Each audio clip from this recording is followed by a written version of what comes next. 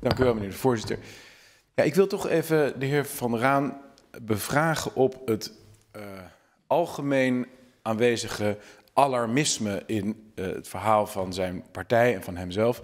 Het is altijd het idee dat de planeet er heel slecht aan toe is, dat we op de rand staan van allerlei rampen. Maar die rampen die komen eigenlijk steeds niet. Wordt al 40 jaar gezegd, de zure regen gaat alles voor dit en dat.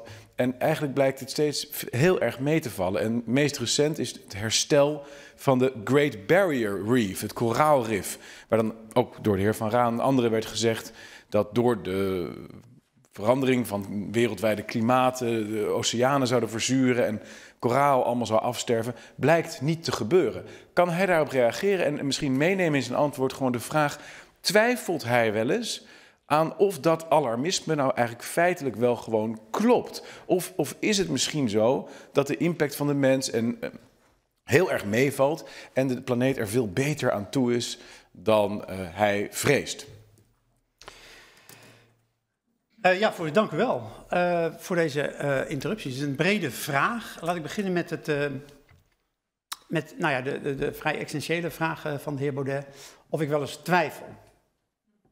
Voorzitter, op dit moment twijfel ik. Ik twijfel aan de heer Baudet. Op welke planeet hij zich bevindt. En ik twijfel ook heel veel aan de klimaatwetenschappen. Want twijfel is, is de essentie van de vooruitgang in wetenschap. Ik denk dat de heer Baudet het, dat met mij eens is. En die klimaatwetenschap, die vertelt ons niet zozeer dat we alarm mo moeten slaan of dat we alarmistisch moeten gaan worden. Nee, die beschrijft de werkelijkheid van hoe de planeet er op dit moment voor staat. Dus met die wetenschappelijke principes van twijfel, van uitgedaagd worden, van elkaar bevragen van klopt het dat? Zijn de modellen goed? Hoe staat het ervoor? Kom je in de wetenschap tot, en ik denk dat de heer Baudet dat ook wel herkent, en de wetenschap bestaat niet, daar hebben we al eens eerder een gesprek over gehad, maar er bestaat wel zoiets als een gouden standaard in de wetenschap. En die de gouden standaard wordt inderdaad gevormd door twijfel. Ik kijk even ja. naar de voorzitter. Hoeveel tijd ik hier eigenlijk heb. Nou, uh, ik denk dat als ik uh, zeg, uh, praat ik nog even door, geboeid luisteren. Dat u, dat u een hoorcollege gaat geven. Nou ja, het is ook, een, ben ik een hele mooie vraag van de heer Baudet. Ja, dat lijkt me een geweldig idee dat u een hoorcollege gaat geven, alleen niet hier nee, en niet vandaag. Niet vandaag. Dus spreek een zaaltje af. Oké. Okay. Um, zaaltje. Dus dit lijkt, een zaaltje. Me, dit lijkt me een heel mooi... Uh, nee, maar voorzitter, nee, nee, nee, nee, nee, even afronden. Nee, nee, u, bent, u bent afgerond. Ja, u bent nee, nee, nee, ik ben nog niet afgerond. Ja, ik heb afgerond. geen antwoord gegeven op de vraag. Ja, ja nee, maar dat is dan niet van die filmpjes waarin, die kennen we van de heer Baudet. Ja. En die heeft hier wat... En, uh, Eén zin. Het is, er is een noodtoestand. Punt.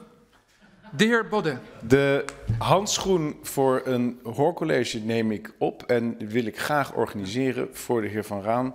Um, op bijvoorbeeld een vrijdagmiddag, als wij op ons partijkantoor elke week een discussieavond hebben. Dus ik nodig hem bij deze uit om zijn verhaal te vertellen. Willen we graag naar luisteren en nader over in debat gaan. Maar ik kom toch even terug op mijn vraag. De Great Barrier Reef. Het koraal zou afsterven. Wat blijkt? Het is aangegroeid. Het is weer hersteld. Er zijn allerlei factoren, maar de natuur is misschien wel veel flexibeler, veel sterker dan wij steeds denken. De ijsberen, hetzelfde verhaal. Er zijn nu meer ijsberen dan ooit eerder gemeten. Het gaat helemaal niet zo slecht met die natuur. Ja, dank u wel, voorzitter. Nou, dat zijn twee vragen, drie? Ja, voor, twee. voor, twee. Uh, nou, de, de uitnodiging voor in het zaaltje in een zaal, in, in, bij de uh, uh, forum te gaan discussiëren over klimaat, ik sla hem, met, ik sla hem af. Ik denk dat het uh, tijdsverspilling is. Wat ik wel graag doe, wat ik wel graag doe, is met de heer Baudet over andere zaken spreken.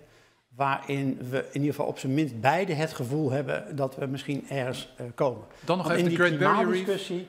Kijk, als je op een andere planeet zit en die, uh, die wetenschappelijke gouden uitgangspunten gewoon negeert.